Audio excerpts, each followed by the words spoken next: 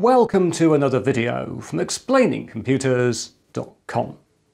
This time we're going to build a Mini ITX PC inside this, the My64 case which has been supplied to review by My Retro Computer. And what this will allow us to do is to build a modern PC that looks just like a classic home micro. So let's go and get started. Right, here we have the My 64, which is a new release by My Retro Computer of a case first sold in 2011 by a company called Commodore USA. So let's open this thing up. I think it's the biggest thing I've ever unboxed on this table. I think there's a little tag at the bottom and it should be straightforward to get into this thing. It just opens up.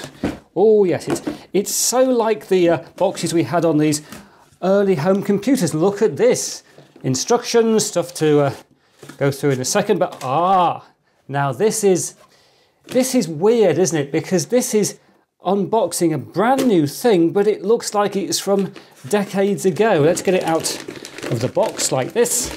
Somehow get this out of the way. Rather bulky over there and get rid of the ends like that and that. Oh, this is an exciting unboxing. Look at that. This is the my 64 and it feels so much like a computer from from yesteryear. This is i think a cherry switch keyboard. Yes beautiful feel on the keyboard. Full size cursor keys. Great to see those. This is this is very nice indeed and if we look at one end, we can see what looks like a slimline DVD drive, but which is actually an internal cradle for taking a 2.5 inch drive into which we'll be fitting a 2.5 inch SSD. And then on the other end, we find a 3.5 inch bay panel, currently fitted with a metal plate which has got some holes for ventilation and a hole for fitting through the power jack which we'll use to power the My64 from an external power supply although if you wish, you can fit a multi-format card reader here, which is also supplied with the case. Finally, around the back, we find a 40mm cooling fan and also here an aperture which will take the I.O. shield from a Mini ITX motherboard. So all of the computer connections for this system will end up sitting down here. So there we are, the My 64. And the one thing I've not mentioned so far is the price which at the time of making this video is $254 or £189 or 209 euros. So this is clearly an expensive niche product, but one which does allow us to build a new modern computer in a retro case.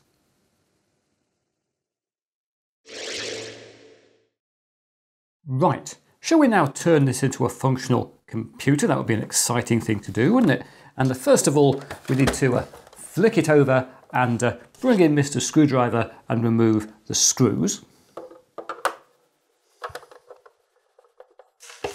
There we are, and we can now flick it back the right way up and hopefully the top will uh, lift off. There we are. This is the, uh, the keyboard part. We'll come back to that in a minute. But for now, all the things come out, little back of the little grill for the fan. You can see we've got various things in here. Look, this is, uh, oh, this is the card reader, isn't it? So this could go uh, down onto this side if we wanted to have clearly with that on the front and that on down there. That will give us a card reader at the side. I don't think I'm going to fit the card reader. We'll stick with the metal plate with the ventilation holes. We've also got here, look, uh, we even labelled up cable ties and mounts, obviously for cable management, stuff like that. And we've got here some screws, obviously for holding in the motherboard. That's kind of important. And we've got some instructions for the uh, to do with the hard drive here. And we can see that mount there. You can see the SSD can go in here. And uh, looks like there's also a mount under there for a three and a half inch drive as well, as far as I can see. So we've got plenty of, of drive mounting options there. So uh, we now, of course, need to put in a motherboard and the My64 will take any Mini ITX motherboard providing that the CPU, heatsink and other components are no more than 30mm high at the front of the case because clearly it's got a fitter under the keyboard. And because of the fact we haven't got massive ventilation in a case like this, we didn't need it for early microcomputer, my retro computer recommend you don't use a CPU with a TDP, a thermal design power, greater than 65 watts. So the motherboard I'm going to use here is this one. This is an ASRock J4105 Mini ITX motherboard with an embedded Celeron processor. So when you buy this board, you get the motherboard with the processor pre-fitted and the heatsink also fitted as well. This is a passively cooled board, so it doesn't need a fan. And the specs here to give you the headlines, this has got a Celeron processor, which is a quad-core processor running at 1.5 gigahertz base frequency, bursting to 2.5 gigahertz, and we've got Intel 600 HD graphics. And I'm actually borrowing this motherboard from a Silent Mini ITX build I showed you on my channel a few months ago, where I fitted it with 8GB of RAM. We've got two 4GB SODIMMs in here. So if you want more information on this board and all its specifications, look back to that video. Oh, and also note it comes with this I.O. shield. Now, in addition to the motherboard, we're also going to need a drive, which here will be the Samsung Evo 250GB SSD, and to connect this to the drive carrier in the case, we're going to need a lead with a mini SATA connector, which is that connector there. And you can see it's also got a Molex power connector to use with the power supply we'll be using in this build. And talking of the power supply, we're going to be using this Pico ITX board. This will plug into our mini ITX motherboard. It'll take a 12 volt DC input. This is a 90 watt Pico ITX power supply perfectly sufficient for our needs here. And indeed it's going to be fed from uh, this external power supply, which I think is an 80 watt 12 volt power adapter.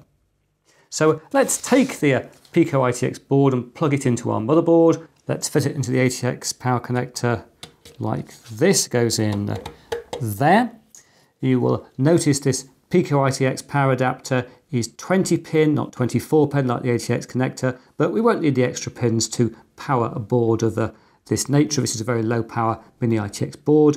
You might have noticed if I can find it, here we are, there is an extra 4 pin power connector coming out of the Pico ITX adapter, but this is to go to a P4 pin on the motherboard. It's got the wrong pins to go in here. You physically can't put it into these pins because uh, it's not designed to go in there. So don't use this particular connector. Next, we'll go back to the case where the motherboard will fit in something like this. In fact, very like this. But before I deal with the motherboard, I want to turn my attention to the, uh, the drive carrier here. So let's get rid of the motherboard and move across to the drive carrier, where, as you can see, there is a SATA data and power connector here. We could just take our SSD and drop it in there like that, push it onto the connector, and that will hold in place. That would be okay, but uh, I don't like the idea of having a, an SSD sort of flopping around on the end of a SATA connector. That's not really mounted. And so I've noticed there are some mounting screws under here or some mounting holes. So what I'm going to do is to remove these screws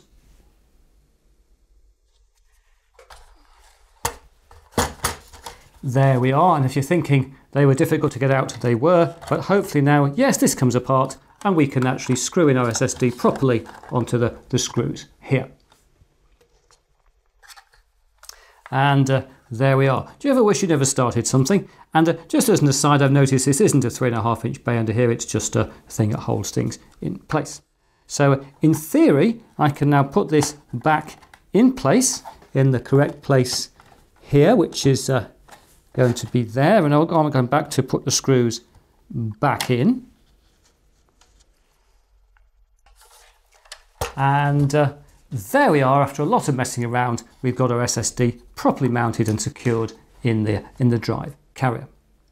And then the final thing we need to do is to take our lead for the SSD, the power lead, this is the data lead, which is the one here. This plugs in the mini SATA connector down here, I think like this, goes in uh, there like that. And uh, we're all ready now, I think, to fit the motherboard in the case. And to start us off, we're going to take the I.O. shield and just slot it in something like that. That looks uh, pretty good. And we can now take the motherboard itself, get that out of the way. Maybe I should have fitted that second. Who knows? It's all fine. There's never a perfect way to do anything, is there? Says he. Hopefully, is that going to go in there? Is it line up, get in the back? Yes, that's gone in pretty well. And the screws to go in there. That actually holds in very nicely actually. So we'll now just take the motherboard screws and uh, put them in. And uh, what I'm doing here is just to put them all in loosely first because we need to press the motherboard up against the I.O. shield at the back, keep it nice and tight. So I've now got them loosely in and I can now tighten them properly. There we are, Mr. Screwdriver enjoyed that and that seems to have worked very well indeed. The motherboard is nicely secured into the case. Next I think we'll take the, uh, the power jack here and put it through this uh, hole side.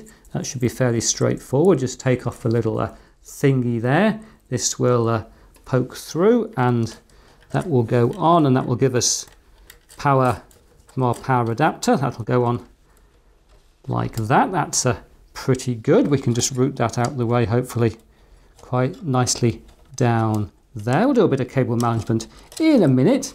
Uh, we need to connect up our uh, SATA connector for the drive. Think again, we'll think about cables a little bit. Not too much, I'm not going to obsess about it. Let's get cabling as neat as we can. Let's put a bit of that out the way. And the SATA connector will go into the motherboard. Is that the right way round? It never is if you want it to be, is it? No, it's that way round. Deary me. There we are, that's clicked in there. And that's going to just tuck out of the way. That's, that's pretty good. We've got to get power to our drive from uh, this Molex here. It's great having a Molex connector in a, a retro build, isn't it? We've got all the different ages of computing going on here. And uh, that, I think, is everything there in terms of the base of the case. So what we can now do is go back to the keyboard. Here it is. And uh, under here, of course, there are more wires. In particular, there are two sets of wires we need to deal with. Let's just uh, release them from their bounds for a second. We've got, first of all, here connectors for the uh, power LED and the power switch. There they are. These actually work from the uh, switch on the top of the case here, which is both a switch and a uh, power LED. And of course, there's also a connector here coming from the keyboard itself, which goes onto a USB connector on the motherboard. So if we go back to the motherboard, which has miraculously neatened itself up a bit since we were here last, those cables have uh, leapt into nicer places. And the first thing we're going to do is to ignore what I've just been talking about and connect in this uh, fan connector for the fan at the back of the uh, case. That needs to go into uh, our uh, connector down here on the motherboard, which is the uh, connector there, chassis fan 1. And then connectors I was just talking about for the keyboard and the front panel. There is a USB header down here we can use, and there's a front panel headers down here. So if we grab the wires from our keyboard, the positive connection for the power LED goes in here, the negative connection goes in there, and finally the power switch, if I can find the lead, here it is, goes in like this. And it's worth noting, these are the connections if you're using an ASRock J4105 motherboard. If you're using another type of motherboard, you should check your motherboard's manual for the correct connections. And then finally, we'll go across to the USB 2 headers on this board. We've got a couple of them here. We'll use the single one, which is more convenient. You'll notice at the end, one of the pins isn't a pin, if you see what I mean. And when we put the connector in, you'll see exactly the same thing is going on. One of the uh, potential pins isn't a pin. That's how you know you've got this thing in the right way around. And so with a little bit of a cable tidying here and there, I think we've finished putting this thing together, which is a rather good, isn't it? It's a very interesting mix of the old new, isn't it? And so now in theory, keeping the cable routed away from the heatsink is the plan. I can drop the uh, top on here. There's a lot of stuff just to make sure lines up. I'm going to make sure my IO shield lines up and my fan lines up. I can't show you everything at the same time on this. It's going to fit in there at the back. Oh, if you could see what was going on there. There we are. That's gone on, I think, rather nicely. It has. So all we now need to do is to put back in. Look, you can see the back. Look how good the back is. Oh, it's marvellous, Chris. Wonderful. Anyway, we now need to drop in the screws.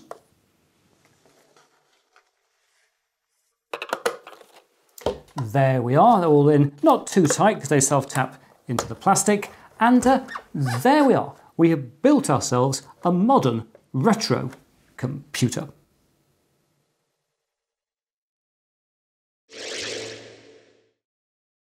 Greetings, here I am back again and as you can see I've now got the My64 all connected up with a monitor, again a mix of the old and the new. I've got my trusty 3M ergonomic mouse plugged in around the back along with an HDMI lead and the power is going into the side of the machine. So in theory we can turn things on like this. Things have come to life. The fan I think has just come on at the back. The fan was a bit noisy when I first booted this thing up, but I've adjusted it in the BIOS so it's uh, not quite so noisy. And as you can see, the machine is booting, which is a, a great relief. It should now boot into Ubuntu 20.04, which was already installed on the SSD. And uh, here we are. And I just need to uh, log in, and I'll put my password in by the magic of filmmaking. There we are. And we can uh, hopefully go to the Ubuntu desktop on the My64. What a, what a fantastic retro computing setup this is. The function keys down the side of the unit are also labelled up and all work. We press say files, we'll get uh, the file manager. There we are. We can adjust the volume using the volume controls. Control the HDMI volume, but that was never intended when they first built this machine.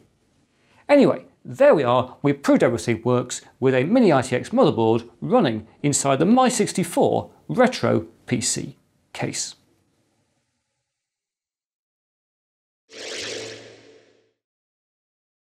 The My64 is a beautiful piece of hardware which perfectly reincarnates an early microcomputer.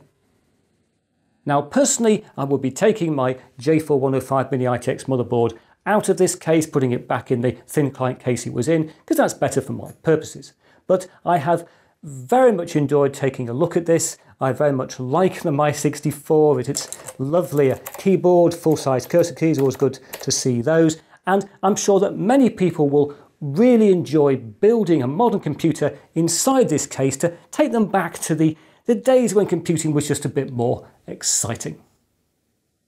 But now that's it for another video. If you've enjoyed what you've seen here, please press that like button. If you haven't subscribed, please subscribe. And I hope to talk to you again very soon.